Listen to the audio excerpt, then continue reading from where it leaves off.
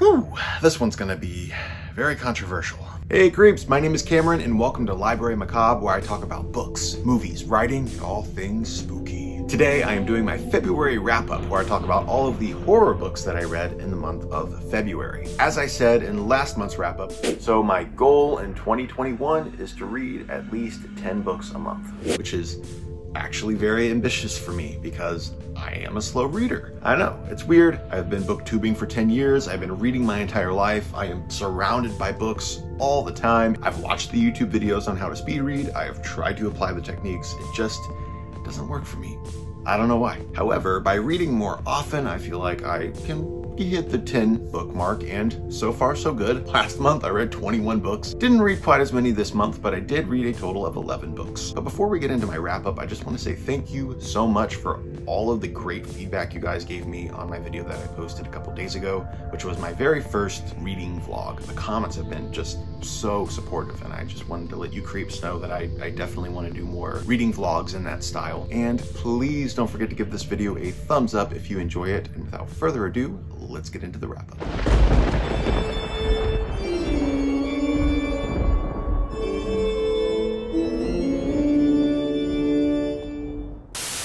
Whenever Kasha from Kasha's Book Cemetery does a wrap-up video, she always starts with the book that she liked the least and work her way up to the one that she liked the most. I like that a lot, and I think I'm gonna do that for this video. So we're gonna start with my one-star reads, of which there is only one. Whew, this one's gonna be very controversial. So my one-star read for the month of February is Growing Things and Other Stories by Paul Tremblay.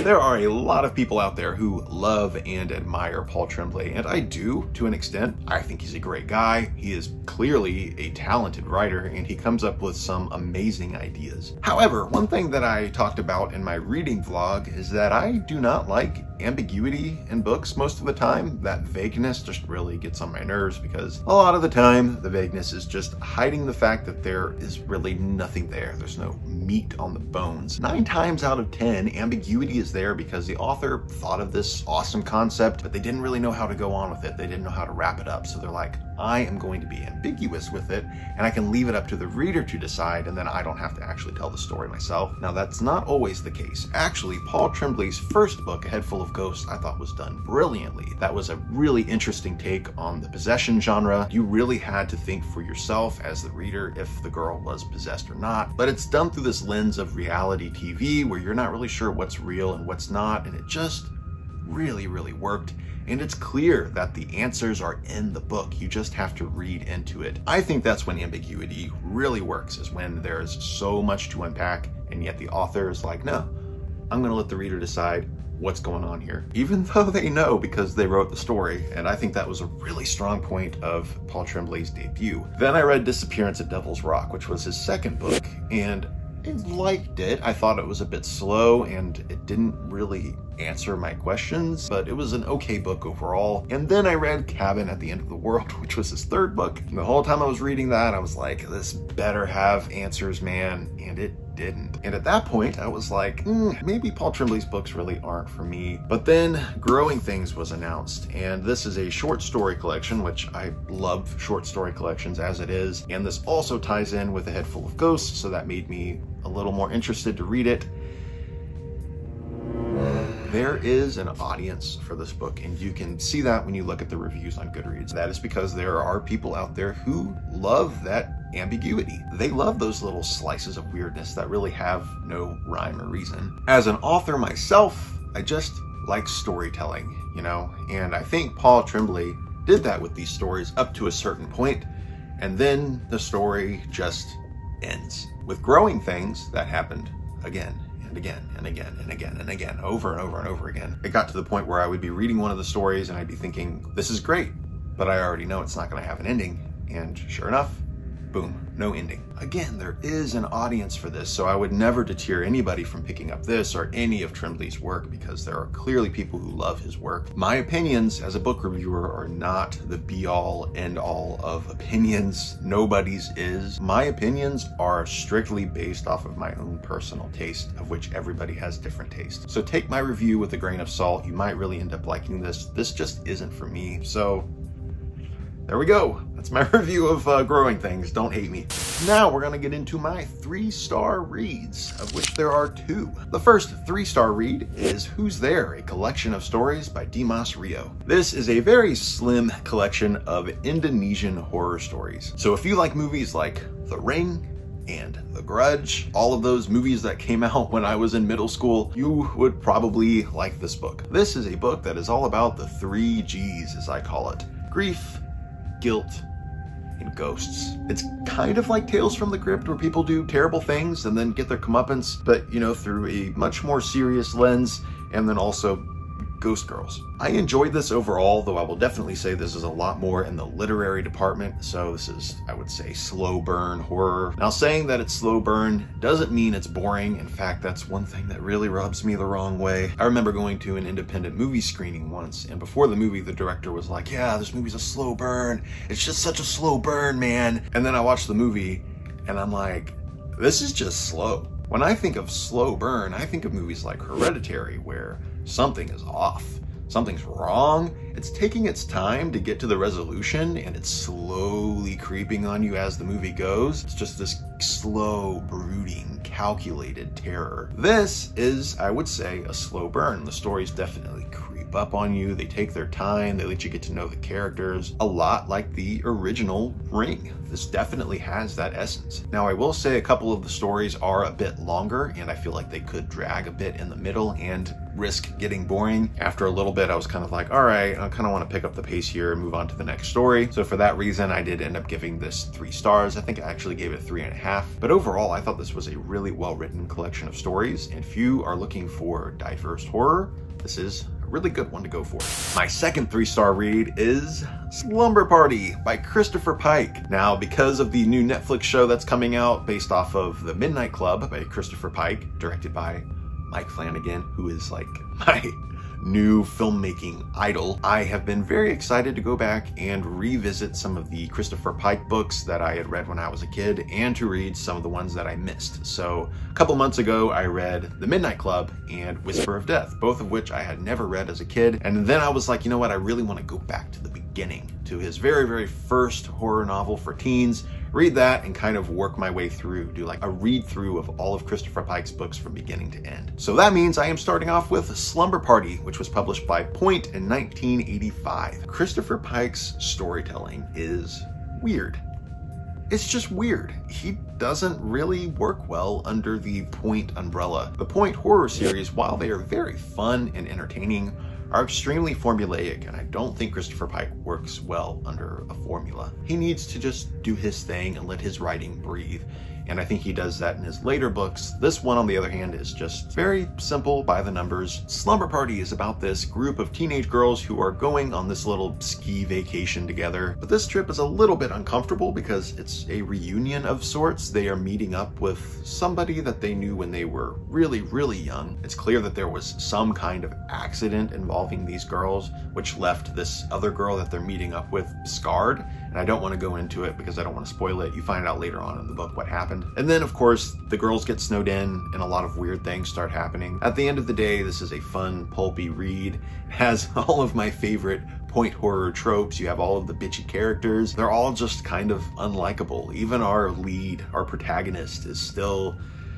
not a very good person. And I see a lot of people complaining about that on Goodreads, but I kind of like it. I don't know. I, I like unlikable characters. I think they're more fun to read than somebody who's perfect in every way. It was cheesy and entertaining. Not my favorite Christopher Pike book at all, but within the point horror structure, I think he did a decent job. So those were my three star reads. Now we're gonna get into my four star reads, of which there are four. I always end up having a lot of four star reads for whatever reason. I think it's because it's a nice sweet spot. Like these books are good, I really enjoyed them, but they're not my favorite books ever written. But my first four star book is Twisted Books to Leave You Shook, book number one, Fright Filter by C.S. James. Now, this is kind of like a Goosebumps throwback. It's about a 12 year old girl named Nicole who loves playing on her phone. She especially likes using those face filters on Snapchat. And she is best friends with this girl who I would say is kind of a bully. She's not very nice. She encourages Nicole to post something very mean about another girl in their class, but before she's able to post it in the middle of class, her teacher sees her on her phone and takes her phone away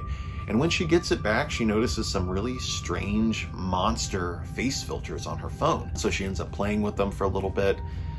And then, of course, she ends up turning into these monsters. And she has to go on a journey to figure out how to change herself back. So it's definitely a lot like the Haunted Mask from the Goosebumps series. I would still say this isn't quite as good as the Haunted Mask. Obviously, that's like one of my favorite books ever. But it was still a really fun read. It gave me all of those nostalgic childhood feelings of sitting underneath the tree in my front yard as a kid on a nice summer day and reading Goosebump books all afternoon. It really made me smile a lot and it's so short, so quick to read. I read this in one sitting. I will also say that C.S. James reached to some deeper places than R.L. Stine usually did with Goosebumps because our main character is dealing with the loss of her father and she's not really been the same since then. And I thought that was a really good parallel of her changing as a person since the death of her dad and also changing physically into these monsters. So if you have a kid who has read all the Goosebump books already and you want to get them something else, I would say this series is a really good way to go. And from the perspective of somebody like me who grew up with the Goosebumps books as a kid, this was really fun and very charming. Also, I don't know if this was intentional, but the Twisted Books to Leave You Shook layout reminds me a lot of the Eek series that I read when I was a kid. This was like an easy reader Goosebumps kind of knockoff. I saw this cover and just immediately had this flashback of reading these books in kindergarten. So this triggered a really fun little memory for me. And I should also say that I received all three of these books in exchange for an honest review. That does not affect my review in any way. I'm always going to tell you exactly what I think obviously. The next book is one that I did not receive for review, actually. This is Monster Street, book number one. The Boy Who Cried Werewolf by J.H. Reynolds, another Goosebumps throwback. So this one is about a kid who, again, is dealing with the loss of his dad. His dad actually died years ago, back when he was a baby though, so he never knew his dad. And one day his mom tells him that she is going to send him to stay with his grandparents. His grandparents have something of his dad's that they want to give to him, and you don't really know what that is going in. He arrives at his grandparents' farm, and it turns out there is a werewolf that lives in the woods woods and his grandparents are telling him to stay out of the woods, do not go there. Pretty early on, I knew exactly where this book was going and it, it's written for kids, so, you know, it happens. But I still thought this was a really fun and charming read. Again, gave me all of those goosebumps vibes. This one actually really reminded me of The Werewolf of Fever Swamp, which is book 14 in the Goosebumps series. But I really liked this. I thought it was cute. The ending was actually very sweet and heartfelt, and the book overall is pretty well written. My next four-star read is Fangs by Sarah Anderson. This is actually a really short little comic. I wouldn't even call it a graphic novel. This is uh, more of just like a compilation of comic strips, so it's very short, It only took me like 15 minutes to read. I actually read this on Valentine's Day, and this is about a vampire and a werewolf who are in a relationship and just their cute little quirks about their romance. It's also a really nice cloth bound book. It's got the black edges all the way around, so it's very well designed. Not horror, but it's still, you know, spooky. It's genre. It's got vampires and werewolves and a lot of dark humor. Very, very dark black humor it spoke my language. So there's Fangs by Sarah Anderson. My next four-star read is one that I've already done a 20 minute video about. My reading vlog was actually all about this book and that is Graveyard Smash Women of Horror Anthology Volume 2 from Kandisha Press. This is a anthology full of wonderful, talented female horror writers, but I'm not going to talk a whole lot more about this because I've already done a huge video. But yeah, overall, I really do recommend this, and I need to get the first volume, and I do have a copy of the third volume coming to me, so really excited to read those. And Lastly, we have my five-star horror read. When I revisit books from my childhood, there's always a little bit of hesitation going in because I always wonder, what if this book doesn't hold up? What if I don't like it as much as I did when I was a kid? And I was a bit hesitant to check out this one, but again, it was Women of Horror Month, and I, I kind of wanted to squeeze in one more horror author. And one of my favorite female horror authors when I was a kid was Mary Downing Hahn. She wrote some amazing ghost stories and my favorite book of hers was always Wait Till Helen Comes. So I decided to give it a reread. Boy, am I glad I did, because I liked this even more than I did when I was a kid. This is about a family of five. You have the mother who just recently went through a divorce and she remarried. She has two kids of her own from her first marriage, and then he has a kid of his own from his first marriage. So the two families come together and decide to move out to this old renovated church out in the countryside. Our main character is the daughter of the mother who does not like the idea of moving out into the middle of the countryside. She is also very paranoid. She's a very scared kid and the idea of moving to an old renovated church just kind of creeps her out. Also, her new stepsister Heather is a spoiled, rotten rat. She is also a liar. She's always saying things that aren't true just to get her step siblings in trouble. Well, it turns out there is a cemetery on the grounds of the church where they're living, which is home to the grave of Helen, which is a young girl who died in the lake on the property. And local legend has it that the ghost of Helen resides in the lake and she will call kids out to drown them. And of course, her next victim is Heather and things just escalate from there. This was such a cozy, fun, well-written book. It is brisk, fast-paced, to the point. This takes place in the summertime, so you've got all of those descriptions of the heat and the smell of freshly cut grass and the fireflies at night. Just made me want summer. But just because this takes place in the summertime doesn't mean that there isn't a ton of spooky atmosphere. There's always this overcast in the sky. And then of course you have the setting of this old renovated church and the cemetery that sits off just in the field. Just lots of spookiness and the book actually has a really good message as well. So five stars. Still one of my favorite books ever. So there you have it. That is my February horror wrap up. Again, if you want to see the other books that I read in February, you can go down below to the graveyard and click my Goodreads link where you can read all of my reviews of the other books that I read. Thank you, creeps, so much for watching this video. If you've watched this far, please, please, please don't forget to give me a like down below and also leave me a comment letting me know if you've read any of these books and what you thought. And I hope you have a very spooky day. Later, creeps.